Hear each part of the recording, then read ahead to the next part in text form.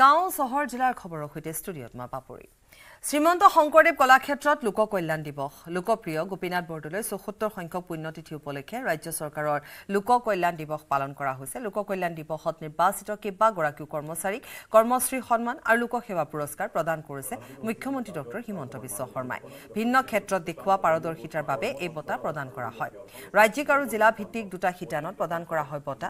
লোক কল্যাণ দিৱসত উপস্থিত থাকে শিক্ষামন্ত্ৰী ডঃ ৰণোজ পেগু শ্ৰম মন্ত্ৰী Sanjay Kishan Jogen Mohan Nandita Gorlosa Ranjit Das DGP G P Singh আৰু গোপীনাথ বৰদলৈৰ পুত্ৰ পলিন বৰদলৈ। আধুনিক অসমৰ ৰূপকাৰ ভাৰতৰত্ন লোকপ্ৰিয় গোপীনাথ বৰদলৈ আজি চৌসত্তৰ সংখ্যক পুণ্যতিথি। আজিৰ এই পবিত্ৰ দিনটোত মই অসমবাসী ৰাইজৰ হৈ এইগৰাকী মহান যুগনায়কক আমাৰ গভীৰ শ্ৰদ্ধা নিবেদন কৰিছোঁ। দুহেজাৰ বাইছ বৰ্ষত আমি আৰম্ভ কৰা এই বঁটাই প্ৰথম বছৰ দহগৰাকী কৰ্মচাৰীক আমি ৰাজ্যিক বঁটা আৰু ঊনানব্বৈগৰাকী কৰ্মচাৰীক আমি জিলা পৰ্যায়ত লোকসেৱা বঁটা প্ৰদান কৰিছিলোঁ। দুহেজাৰ তেইছ চনত আমি পঁসত্তৰগৰাকী চৰকাৰী কৰ্মচাৰীক আমি লোকসেৱা বঁটা প্ৰদান কৰিছিলোঁ। এই বছৰ আমি ৰাজ্যিক পৰ্যায়ত দহগৰাকী আৰু জিলা পৰ্যায়ত সাতত্ৰিছগৰাকী লোকক আমি লোকসেৱা পুৰস্কাৰেৰে সন্মানিত কৰিছোঁ। এই লোকসেৱা পুৰস্কাৰৰ বাবে এটা অতি কঠোৰ ব্যৱস্থা গ্ৰহণ কৰা হয় আৰু শেষত বিভিন্ন অসম আৰক্ষী আৰু ভাৰত চৰকাৰৰ বিশেষ এজেঞ্চিসমূহৰ দ্বাৰা তেওঁলোকৰ কৰ্ম সংস্কৃতি বিশেষকৈ ইণ্টিগ্ৰিটিৰ ওপৰত আমি এটা বেকগ্ৰাউণ্ড চেক কৰাৰ পিছতহে এই বঁটা আমি আগবঢ়াওঁ। ফলত এই বঁটা যিসকলে লাভ কৰে স্বাভাৱিকতে তেওঁলোকে পৰীক্ষাৰ এটা কসতি শিলত উত্তীৰ্ণ হৈ এই বঁটা লাভ কৰাৰ বাবে যোগ্যতা অৰ্জন কৰে। স্বাভাৱিকতে এই বঁটা লাভ কৰা প্ৰতিজন কৰ্মচাৰী আমাৰ বাবে এক আদৰ্শৰ স্বৰূপ আৰু তেখেতসকলক আজি ভাৰতৰত্ন লোকপ্ৰিয় গোপীনাথ বৰদলৈ পুণ্যতিথিত আমি তেখেতসকলক সন্মান জনাবলৈ পাই সঁচাকৈয়ে গৌৰৱ অনুভৱ কৰিছোঁ। শিৱসাগৰ মুখ্য ডাকঘৰৰ নৈশ চকীদাৰক হত্যা। ডাকঘৰৰ ভিতৰতে বুদ্ধেশ্বৰ গগৈক চুৰিকাঘাত কৰে কোনো দুৰ্বৃত্তই। চকীদাৰজনৰ বুকু আৰু মূৰত চুৰিকাঘাত দুৰ্বৃত্তৰ। বিগত ছবছৰ ধৰি শিৱসাগৰ ডাকঘৰত তেওঁ কৰ্মৰত আছিল। মৃত বুদ্ধেশ্বৰ গগৈৰ ঘৰ হৈছে শিৱসাগৰ ভটিয়াপাৰাত। ঘটনাক লৈ অঞ্চলটোত তীব্ৰ চাঞ্চল্যৰ সৃষ্টি হৈছে। বুদ্ধেশ্বৰ গগৈৰ হত্যাৰ উচিত তদন্তৰ দাবী কৰিছে ডাকঘৰৰ কৰ্মচাৰীয়ে। নৈশ চকীদাৰক হত্যা কৰা হৈছে। ডাকঘৰৰ ভিতৰতে হত্যা কৰিছে। কি কাৰণত কোনে হত্যা কৰিছে এতিয়ালৈকে পোহৰলৈ নাই অহা। আৰক্ষীয়ে তদন্ত আৰম্ভ কৰিছে। তেওঁ বুকু আৰু মূৰত চুৰিকাঘাত কৰা হৈছে। বিগত ছবছৰ ধৰি তেওঁ ইয়াতে কৰ্মৰত আছিল। প্ৰদীপ গগৈ প্ৰতিবেদন আগবঢ়াম। শিৱসাগৰৰ হয় শিৱসাগৰৰ মুখ্য যি ডাকঘৰ আছে শিৱসাগৰ বৰপুখুৰী পাৰত সেই সেই ডাকঘৰৰ ভিতৰত আচলতে আজি এগৰাকী চকীদাৰৰ ৰহস্যজনকভাৱে মৃতদেহ উদ্ধাৰ হোৱা ঘটনাই চাঞ্চল্যৰ সৃষ্টি কৰিছে। ইতিমধ্যেই আৰক্ষী আহি উপস্থিত হৈ তদন্ত আৰম্ভ কৰিছে। তেখেতক কোনোৱে আচলতে মাৰপিট কৰাৰ সন্দেহ কৰা হৈছে যিহেতু তেখেতৰ শৰীৰৰ বিভিন্ন অংশত মৃতদেহত আঘাতপ্ৰাপ্ত হোৱা চিন আছে। ইয়াত তেওঁলোকৰ পৰিয়ালৰ ব্যক্তি আছে আত্মীয় স্বজন আছে মই তেওঁলোকৰ পৰা জানিব বিচাৰিম। ইয়াক কোন হয়? যিগৰাকী ইয়াত মৃতদেহ বৰ্তমান পৰি আছে ডাকৰ ভিতৰত কোন হয় তেখেত মোৰ খোলালি হৈছে। খোলালি হৈছে। খোলালি। কেনেকে কি ধৰণৰ খবৰ পাইছে এনেধৰণে ৰাতিপুৱা আমি গম পাইছো যে চাৰে সাতটা বজাত যে তেওঁ গা ভাল নাই। ককায়েকে ফোন কৈছিলে মানে কৈ পিনি কৈছে তেওঁক ঘৰলৈ লৈ আহাগৈ। সেনেকে বুলি কৈছিলে। তাৰপৰা আমি উপস্থিত আহি দেখিছোঁ যে তেজ ওলাই থকা দেখিছোঁ। মানে মাথাৰ পৰা বেকত। তাৰপৰা জিভাখন ওলাই আছে আৰু। বিশেষ সেয়াহে দেখিছোঁ আৰু বিশেষ বেলেগকে দেখা নাই। ইয়াৰ কোনোবাই প্ৰাণ ল'ব পাৰে নেকি? তেনেহ'লে আমাৰ সন্দেহ হৈছেহে মানে। সেইটো সন্দেহজনক হয়। কালি আপোনাৰ সৈতে আছিলে নেকি তেখেত? কালি মোৰ ঘৰত ভাত পানী খাই গৈ ভাত খাবলৈ আহিছিলে। চাৰে আঠমান বজাত ভাত পানী খাই পিনে মোৰ ঘৰৰ পৰা ডিউটি কৰিবলৈ আহিছিলে। সিমানে জানো। তাৰপিছত ডিউটি কৰা অৱস্থাত আৰু ইয়াতো আহিবৰ কোনো প্ৰয়োজন নাই মোৰ। হয় হয় মই ইয়াতে আৰক্ষী আছে সেই উচ্চপদস্থ আৰক্ষী আছে। দাদা এ, অক- অকমান জানিব বিচাৰিম ইয়া- ইয়াক কি বুলি সন্দেহ কৰা হৈছে যিহেতু আঘাতৰো চিন আছে। আমি এতিয়া আমাৰ মেজিষ্ট্ৰেটক মাতিছোঁ মেজিষ্ট্ৰেট হোৱাৰ পিছত আমি ডেড বডিটো অলপ ভালদৰে চোৱাৰ পিছতে বাকীখিনি ক'ব পাৰিম। এতিয়া আমি। কি প্ৰাথমিক পৰ্যায়তো এতিয়া দেখা মতেতো ব্লাড শ্লাড ওলাই আছে মুখৰ দেখি ফেন ওলাই আছে নাকেদি ফেন ওলাই আছে তেজ ওলাই আছে। ধৰক এতিয়া নোচোৱাকেতো ক'ব নোৱাৰি।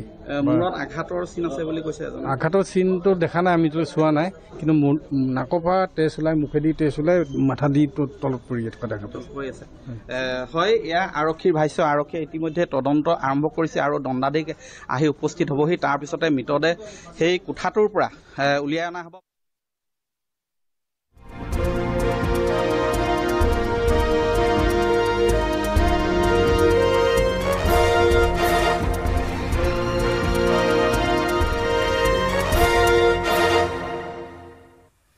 খবৰ অলিম্পিকৰ লক্ষ্য সেনৰ আজি ব্ৰঞ্জৰ পদক জয়ৰ যুঁজ। মালয়েছিয়াৰ শ্বাটলাৰ লি জি জিয়াৰ বিৰুদ্ধে ব্ৰঞ্জ পদক জয়ৰ লক্ষ্যৰে যুঁজিব ভাৰতীয় শ্বাটলাৰগৰাকীয়ে ভাৰতীয় সময় অনুসৰি সন্ধ্যা ছয় বজাত হ'ব খেলখন। পেৰিছ অলিম্পিকৰ পুৰুষৰ বেডমিণ্টনৰ তৃতীয় স্থানৰ বাবে হ'বলগীয়া মেচখনত জয়লাভ কৰিলে লক্ষ্য সেনৰ নাম অলিম্পিকত পদক জয়ী ভাৰতীয় তালিকাত সোমাব। একে সময়তে ভাৰতৰ পদকৰ সংখ্যা আৰু এটা বৃদ্ধি পাব। পৰিসংখ্যা অনুসৰি এইখন মেচত ভাৰতীয় শ্বাটলাৰগৰাকীয়ে জয়লাভ কৰাৰ সম্ভাৱনাই অধিক। কাৰণ আনহাতে এতিয়ালৈকে লক্ষ্য সেন আৰু লি ঝি জিয়াৰ মাজত পাঁচবাৰ মুখামুখি হৈছে আৰু এই পাঁচবাৰৰ চাৰিবাৰতে লক্ষ্য সেনে জয়লাভ কৰাৰ বিপৰীতে মালয়েছিয়াৰ শ্বাটলাৰ লি ঝি জিয়াই এবাৰ জয়লাভ কৰিছে। আনহাতে লক্ষ্য সেনৰ ৱৰ্ল্ড ৰেংকিং ঊনৈছ আৰু প্ৰতিদ্বন্দ্বী লি ঝি জিয়াৰ ৱৰ্ল্ড ৰেংকিং হৈছে সাতাইছ অৱশ্যে খেল পৰিসংখ্যা বা ৰেংকিং অনুসৰি নচলে। প্ৰতিখন মেচে কঢ়িয়াই আনে নতুন সম্ভাৱনা। এনে পৰিস্থিতিত আজিৰ খেলখন স্বাভাৱিকভাৱে অতি আকৰ্ষণীয় হৈ পৰিছে। আৰু প্ৰতিগৰাকী ভাৰতীয় আশা কৰিছে লক্ষ্য সেনে আজৰি আনিব অলিম্পিক পদক। পি ভি সিন্ধুৰ পাছত শ্বাটলাৰ হিচাপে লক্ষ্য সেনে অলিম্পিকত পদক জয়েৰে অভিলেখ গঢ়িব। প্ৰথমগৰাকী পুৰুষ শ্বাটলাৰ হিচাপে অলিম্পিকত ছেমি ফাইনেল খেলি লক্ষ্য সেনে ইতিমধ্যে অলিম্পিক ইতিহাসত সৰ্বাধিক সাফল্য লাভ কৰা ভাৰতীয় পুৰুষ শ্বাটলাৰৰ অভিলেখ গঢ়িছে।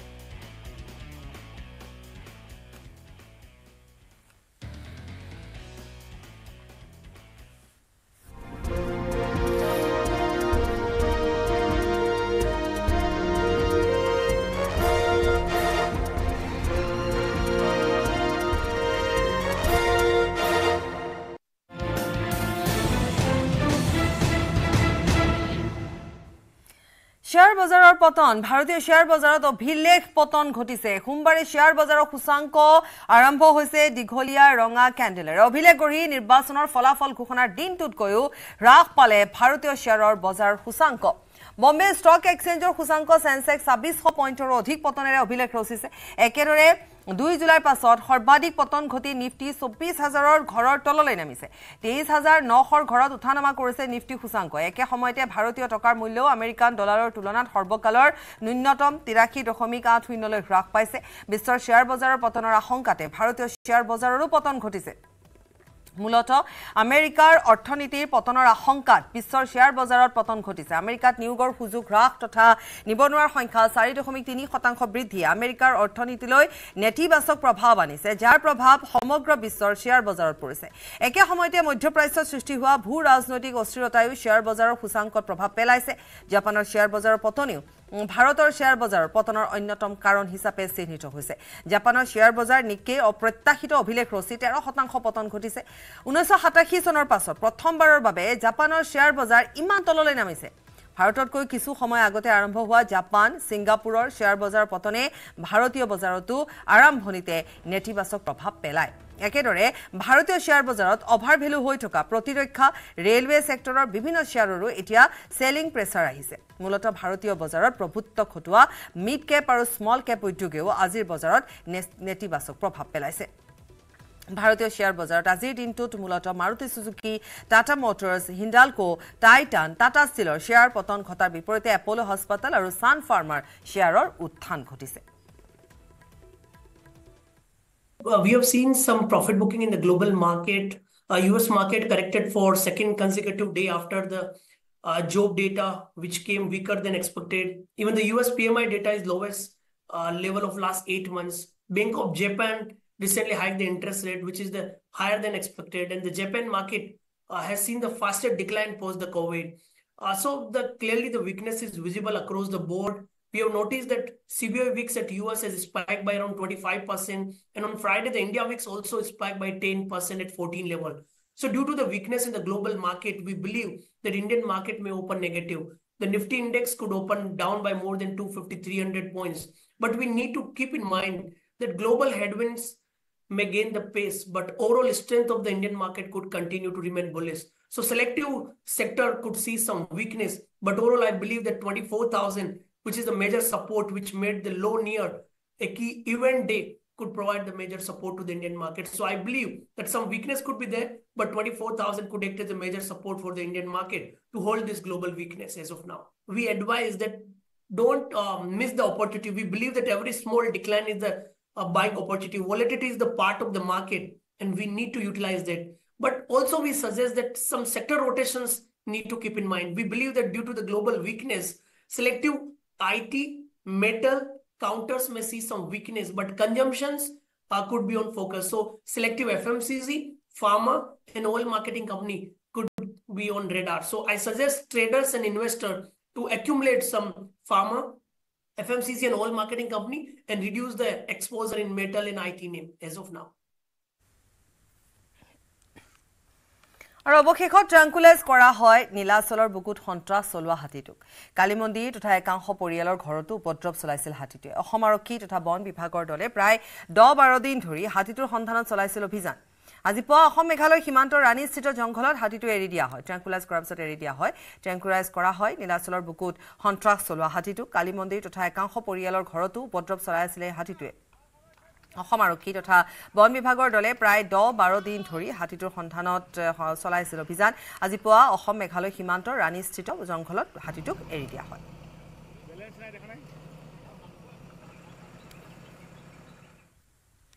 খবৰ অব্যাহত ৰাখিম। সময়চমু বাণিজ্যিক বিৰতি। পাইথান ষ্টীল নহয়। অ ওচৰ চুবুৰীয়াসকলে লগাইছে। ষ্ট্ৰং মানে? মাইথন ষ্টীল।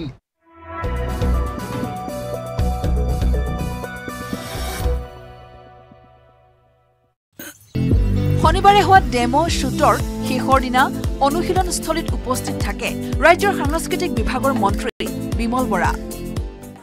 ঝুমুৰ অসমৰ সমাজ জীৱনৰ এটা অন্যতম লোক সংস্কৃতি য'ত বিশেষভাৱে চাহ জনগোষ্ঠী আদিবাসী সম্প্ৰদায়ে ভাদ মাহত কৰম পৰৱ যেতিয়া অনুষ্ঠিত কৰে তেতিয়া সেই আনন্দত ঝুমুৰ প্ৰদৰ্শন হয়।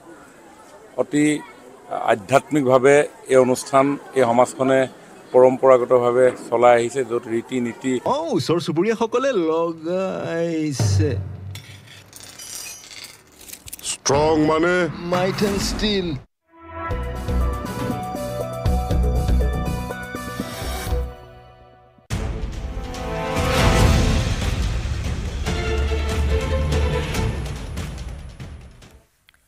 শীঘ্ৰেই লোকসভাত অমিত শ্বাহে উত্থাপন কৰিব ঐতিহাসিক প্ৰস্তাৱ। ৱাকফ সম্পত্তি ৰাষ্ট্ৰীয়কৰণৰ প্ৰস্তাৱ অমিত শ্বাহে লোকসভাত উত্থাপন কৰিব। অসমৰ মুখ্যমন্ত্ৰী হিমন্ত বিশ্ব শৰ্মাই এই কথা প্ৰকাশ কৰিছে।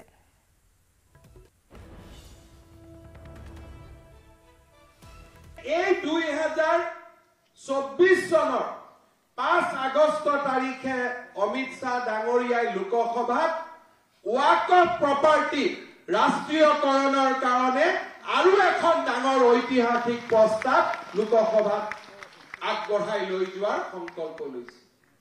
অৰ্থাৎ ভাৰতীয় জনতা পাৰ্টি শক্তিশালী আছিল ভাৰতীয় জনতা পাৰ্টি শক্তিশালী আছে আৰু ভাৰতীয় জনতা পাৰ্টি ৰাইজৰ আশীৰ্বাদত শক্তিশালী হৈ থাকিব। আৰু আজি কলাক্ষেত্ৰত আয়োজিত লোক কল্যাণ দিৱসৰ কাৰ্যসূচীটো মুখ্যমন্ত্ৰীগৰাকীয়ে ৰাষ্ট্ৰীয় সংবাদ মাধ্যমত ৱাকফ সম্পত্তি ৰাষ্ট্ৰীয়কৰণৰ প্ৰস্তাৱ সন্দৰ্ভত একেটা কথাকে প্ৰকাশ কৰিছে As of now, uh, I have not seen the draft. I have not seen the amendment bill. Only I know that uh, WACF bill will be amended. That is what in media and if it is true, then it is a long standing requirement. And I think that reform will uh, give lot of justice to the Muslim women. And I think that this is one step uh, which will be considered uh, for giving justice to the Muslim women. And also, it will ensure that the Waqf property goes to whom it should go. Waqf বোৰ্ডে ক্ষমতা কৰ্তনৰ বাবে চৰকাৰে প্ৰণয়ন কৰিব আইন। যিকোনো ভূমি নিজৰ সম্পত্তি কৰি ল'ব নোৱাৰিব ৱাকফ বোৰ্ডে পুৰণি আইনত প্ৰায় চল্লিছটা সংশোধনী প্ৰস্তাৱ গ্ৰহণ কৰিছে চৰকাৰে। ইতিমধ্যে প্ৰস্তাৱিত বিধেয়কত অনুমোদন জনাইছে কেন্দ্ৰীয় কেবিনেটেও সলনি হ'ব কেন্দ্ৰীয় ৱাকফ পৰিষদৰ গঠন প্ৰণালী। নতুন নিয়ম মতে ৱাকফ বোৰ্ডত থাকিব মহিলা।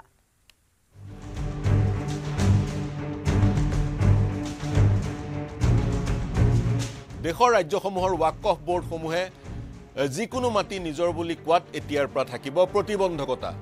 আৰু চৰকাৰে সেই প্ৰতিবন্ধকতা অনাৰ দিশত আইন প্ৰণয়ন কৰাৰ পৰিকল্পনা কৰিছে। পুৰণি যিখন ৱাকফ বোৰ্ড আইন ঊনৈছশ পঁচানব্বৈ এই আইনখনৰ চল্লিছটা দফা সংশোধনী কৰাৰ পৰিকল্পনা ইতিমধ্যেই কেন্দ্ৰীয় চৰকাৰে কৰিছে আৰু এই সংশোধনী বিধেয়কখন গৃহীত হৈছে কেন্দ্ৰীয় কেবিনেটত। এই বিধেয়কখন আইনলৈ পৰিৱৰ্তন হোৱাৰ পিছত ৱাকফ বোৰ্ডৰ সদস্য সভাপতি আৰু মোটাৱালী ইত্যাদি নিয়োজনৰ ক্ষেত্ৰত আমূল পৰিৱৰ্তন অনা হ'ব। ৱাকফ বোৰ্ডৰ সদস্যত মহিলাৰো অন্তৰ্ভুক্তি হ'ব আৰু তাৰ সমান্তৰালকৈ ৱাকফ বোৰ্ডে যিডোখৰ মাটি নিজৰ বুলি দাবী কৰে দাবী কৰাৰ পূৰ্বে চৰকাৰৰ অনুমোদন ল'ব লাগিব আৰু চৰকাৰে পৰীক্ষা কৰিহে সেই মাটি ৱাকফ বোৰ্ডলৈ হস্তান্তৰ কৰিব। ঊনৈছশ পঁচানব্বৈ চনৰ ৱাকফ বোৰ্ড আইন অনুসৰি ৰাজ্যসমূহৰ ৱাকফ বোৰ্ডসমূহৰ সভাপতিজন নিৰ্বাচিত হয়। একাংশ সদস্য নিযুক্তি প্ৰদান কৰা হয় আৰু আন একাংশ সদস্যক মনোনীত কৰা হয়। কেন্দ্ৰীয় যিখন ৱাকফ পৰিষদ সেই পৰিষদখনতো সাল সলনি ঘটোৱাৰ পৰিকল্পনা কৰিছে চৰকাৰে সেই আইনখন প্ৰণয়ন কৰি। এই বছৰেই দিল্লী উচ্চ ন্যায়ালয়ে দিল্লী ৱাকফ বোৰ্ডৰ অধীনত থকা এশ বিছ ডোখৰ মাটিক পুনৰ পৰীক্ষা কৰিবলৈ নিৰ্দেশ দিছিলে কেন্দ্ৰীয় চৰকাৰক। আৰু এই নিৰ্দেশৰ পিছত কেন্দ্ৰীয় চৰকাৰে ইতিমধ্যে দিল্লী ৱাকফ বোৰ্ডক জাননী প্ৰেৰণ কৰিছে। ইয়াৰ বিপৰীতে তামিলনাডুত দেখা পোৱা গৈছিলে তামিলনাডু ৱাকফ বোৰ্ডে এখন গাঁৱেই নিজৰ কৰি ল'ব বিচাৰিছিল যিখন গাঁৱত এশ শতাংশই হিন্দু লোকে বসবাস কৰে। গতিকে তেনেবোৰ বিতৰ্কৰ সূত্ৰপাত ৱাকফ বোৰ্ডত বিভিন্ন সময়ত হৈ আছিলে। আৰু এই বিতৰ্কবোৰৰ পৰাই পৰিত্ৰাণ পাবলৈ কেন্দ্ৰীয় চৰকাৰে ৱাকফ বোৰ্ডৰ সাল সলনি ঘটোৱাৰ উদ্দেশ্যে সেই আইনখন অনাৰ পৰিকল্পনা কৰিছে। আইনখন অনাগত সময়ত ৱাকফ বোৰ্ডৰ কাম কাজত কি পৰিৱৰ্তন আনে সেয়া হ'ব লক্ষণীয়। আজিৰ তাৰিখত ৱাকফ বোৰ্ডৰ হাতত ন দশমিক চাৰি লাখ একৰ ভূমি আছে আৰু সেই ভূমিসমূহৰ বহুকেইটা সম্পত্তিয়ে বিতৰ্কৰ সূত্ৰপাত কৰিছে। অনাগত সময়ত যাতে কেন্দ্ৰীয় ৱাকফ পৰিষদখনত আৰু ৰাজ্যসমূহৰ বিভিন্ন ৱাকফ বোৰ্ডত মহিলাই অগ্ৰাধিকাৰ থাক পায় বা মহিলা সদস্য থাকে সেই কথাও এই আইনখনৰ যোগেদি নিশ্চিত কৰিব বিচাৰিছে কেন্দ্ৰীয় চৰকাৰে। মুছলমানসকলৰ ধৰ্মৰ সৈতে জড়িত বা পবিত্ৰ বুলি জ্ঞান কৰা কাম কাজসমূহ পৰিচালনা কৰিবলৈ যিসমূহ মাটি সম্পত্তি লাগে সেইসমূহ পৰিচালনা কৰাৰ কামেই হৈছে ৱাকফ বোৰ্ডৰ। নতুন নিয়মৰ মাজেদি মুছলমান সমাজ কেনেদৰে লাভান্বিত হয় সেয়া হ'ব মন কৰিবলগীয়া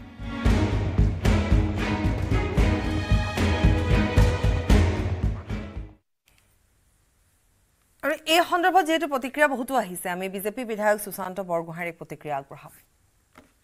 আমাৰ যিসকল খিলঞ্জীয়া লোক আছে সেইসকলৰ সুৰক্ষাৰ কাৰণে হয়তো ৱকাপ বিলখন যেনেধৰণে প্ৰস্তুতি চলাইছে তেনেধৰণে পাৰ্লিমেণ্টত দাখিল কৰিব বা তেনেধৰণে পাৰ কৰি লৈ যাব।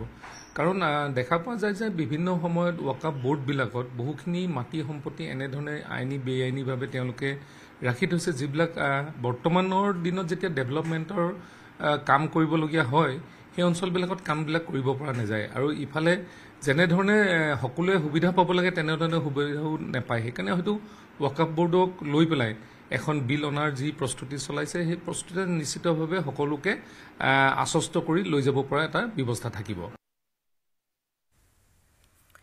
নলবাৰীৰ বৰভাগত পাঠদান সামৰি প্ৰতিবাদত নামিল কণ কণ ছাত্ৰ ছাত্ৰী কৃত্ৰিম বান সমস্যা সমাধানৰ দাবীৰে সাব্যস্ত কৰিলে প্ৰতিবাদ। কোনোমতে পানী পালি ফালি বিদ্যালয়ত উপস্থিত হৈ শিক্ষাৰ্থীসকল অসাৱধান হলেই ঘটিব পাৰে। যিকোনো অঘটন যোৱা এমাহৰো অধিক কাল কৃত্ৰিম বানত বুৰ গৈ আছে। বৰভাগৰ ৰায়মাধাৰ এইখন বিদ্যালয়। বিদ্যালয়খনৰ শিক্ষক কৰ্মচাৰী তথা অভিভাৱকৰ নেতৃত্বত কণ কণ শিক্ষাৰ্থীসকলে হাতে হাতে বেনাৰ ফেষ্টুন লৈ শোভাযাত্ৰা কৰি আহি উপস্থিত হ'ল বৰভাগ ৰাজচক্ৰ কাৰ্যালয়ত। ৰাজচক্ৰ বিষয়াৰ জৰিয়তে শিক্ষকসকলে সমস্যা সমাধানৰ দাবীত মুখ্যমন্ত্ৰীলৈ প্ৰেৰণ কৰিলে স্মাৰক পত্ৰ কৈলাশ ডেকাৰ প্ৰতিবেদন আগবঢ়াম কৃত্ৰিম মানে জুৰুলা কৰিছে নলবাৰী জিলাৰ বৰভাগৰ এখন এম ই স্কুলক। আৰু এই মুহূৰ্তত মোৰ সহযোগে প্ৰথমে দৃশ্যটো দেখুৱাব। কৃত্ৰিম বানত জুৰুলা হৈ আচলতে এইসকল ছাত্ৰ ছাত্ৰীয়ে এতিয়া পাঠদান এৰি তেওঁলোকে প্ৰতিবাদত পঢ়া পৰিলক্ষিত হৈছে। আৰু এয়া হৈছে নলবাৰী জিলাৰ বৰভাগৰ বৰভাগ ফখৰুদ্দিন আলী আহমেদ এম ই এয়া পৰিৱেশ। আৰু মোৰ সহযোগে প্ৰথমে দৃশ্যটো দেখুৱাব। চাওক।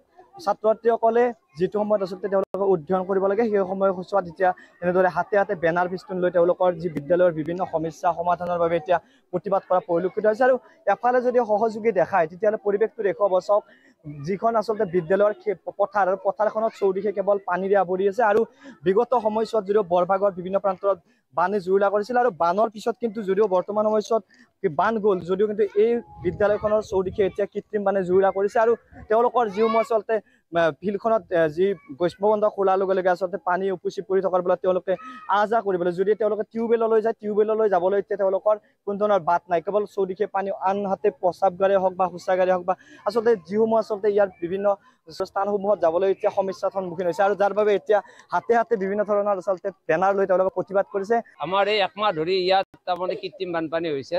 তিনিফালে ৰাস্তা একফালে মানুহৰ ঘৰ আৰু ঘগ্ৰাপাৰ দামোদৰ ধাম পাণ্ডোলা বিজুলী ঘাট যিটো পথ নতুনকৈ বনাই আছে এই পথটো পথটো তাৰমানে পি ডব্লিউ অফিচে নিৰ্মাণ কৰাৰ পিছত তাৰ ড্ৰেইনটো তাৰমানে সম্পূৰ্ণৰূপে বন্ধ হৈ গৈছে। গোটেই পানীটো ওলাই যাবৰ কাৰণে কোনো ব্যৱস্থা নাই। গতিকে আমাৰ দুটা ৰুমত ইতিমধ্যে পানী উঠিছিলে আজি দুদিনমানৰ পৰা অলপমান কমিছে। ইয়াত ছাত্ৰ ছাত্ৰীৰ পঢ়াৰ কোনো তাৰমানে সুবিধা নাই। চৰকাৰী বিদ্যালয়সমূহ ছাত্ৰ ছাত্ৰীৰ অভাৱৰ কাৰণে বন্ধ কৰিবলগীয়া হৈ আছে। তেনে ক্ষেত্ৰত ষাঠিৰ দশকতে স্থাপিত হোৱা এখন বিদ্যালয়ত প্ৰায় ডেৰশ তাৰিখ ছাত্ৰ ছাত্ৰী অধ্যয়ন কৰি আছে। তেনে এখন বিদ্যালয়ৰ এনেকুৱা সমস্যাৰ বাবে ছাত্ৰ ছাত্ৰীসকলে ৰাজপথত নামিবলৈ বাধ্য হৈছে। গতিকে লজ্জাজনক ঘটনা। বেলেগ একোৱে নকওঁ এইখন স্কুল আজি আপোনাৰ ঊনৈছশ বাষষ্ঠি চনতে স্থাপিত হৈছিল আমাৰ আটা ককাহঁতে স্থাপিত কৰিছিল। এইখনৰ পৰা আজি বহুত ষ্টুডেণ্ট ওলাই গৈ doctor engineer A C S অফিচাৰো হৈছে। সেই স্কুলখন যদি আজি এনেকুৱা অৱস্থাত পৰিণত হয় খুব লজ্জা লগা কথা। গতিকে অতি শীঘ্ৰে আমাক চৰকাৰে এইখিনি পানী ওলাই যোৱাৰ ব্যৱস্থা কৰি দিব লাগে যাতে আমাৰ কণ কণ ল'ৰা ছোৱালীখিনি পঢ়াত সুবিধা হয়। উত্তৰ গুৱাহাটীত বনৰীয়া মহৰ আতংক। এপশেক ধৰি ৰজা দুৱাৰত আবদ্ধ হৈ আছে। পথচাৰীক আক্ৰমণ কৰা আঘাতপ্ৰাপ্ত মহটো ৰজা দুৱাৰৰ ৰাতুল বৰুৱা নামৰ এজন লোকৰ ঘৰৰ পাছফালে জাৰণিত আশ্ৰয় লৈ আছে মহটোৱে যিকোনো মুহূৰ্তত পথচাৰী অথবা আৱাসীসকলক আক্ৰমণ কৰিব পাৰে মহটোৱে। মহৰ ভয়ত সন্ধিয়াতে দুৱাৰ মাৰি ঘৰতে আবদ্ধ হৈ থাকিবলগীয়া হৈছে ৰজা দুৱাৰবাসী। ইফালে বনকৰ্মীয়ে দুই এবাৰ পাইচাৰী কৰিয়ে দায়িত্ব সামৰাৰ অভিযোগ উত্থাপিত হৈছে। নিশ্চয়কৈ এইটো বনৰীয়া মহ আজি যোৱা দেওবাৰৰ পৰা। ইয়াই যোৱা দেওবাৰৰ পৰা এসপ্তাহ হৈ গ'ল আজি দেওবাৰ হ'ল।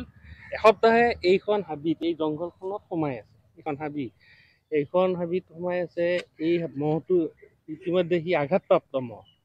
আমি ফৰেষ্টক খবৰ দিয়া হৈছে বন বিভাগৰ মানুহ আহিছে আহি পেলাই যত্ন কৰিছে নকৰা নহয় কিন্তু তেওঁলোকে যিটো যত্ন কৰিছে সেইটো সিমান ফলপ্ৰসূ নহয় আমি ভাবোঁ। আৰু বন বিভাগে যদি খেদিব নোৱাৰে বন বিভাগে তেনেহ'লে নিশ্চয় ৱাইল্ড লাইফ ৱাইল্ড লাইফক খবৰ দিব লাগে সেইটো ৰেস্কিউ কৰিব লাগে ট্ৰেংকুলাইজ কৰি সি আঘাতপ্ৰাপ্ত যিহেতু তাৰ তাত দুডাল হেৰি লোহা সোমাই থকা বুলিও মানে মানুহে কয়। কাৰণ যোনফালেৰে পাৰ হৈছিল তাৰে দুডাল লোহা সোমাই আছে। তাকে ইতিমধ্যে সি মানুহ আঘাত কৰিছে দু এখন গাড়ী ভাঙিছে এটা মানুহক মাৰিছে। এটা আঘাতপ্ৰাপ্ত মহ ইমান দিনে একো নকৰাকৈ থকাটো বহুত ডাঙৰ কথা হৈছে। অন্তততে সেই মানুহটো ইয়াতে ৰেস্কিউ কৰি তাক চিকিৎসা কৰি বন বিভাগে লৈ যাব লাগে। আৰু ইয়াৰে সৈতে গাঁও চহৰ জিলাৰ খবৰ পৰা বিদায় লৈছো নমস্কাৰ। I understand.